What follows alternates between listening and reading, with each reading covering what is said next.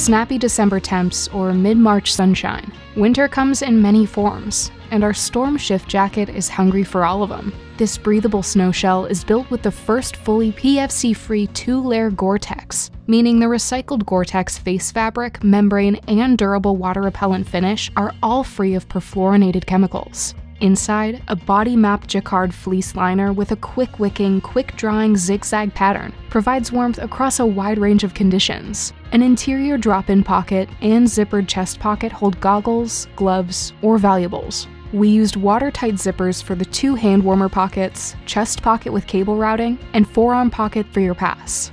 Pit zips dump heat, while low profile cuffs and an elasticized powder skirt seal out wind and snow.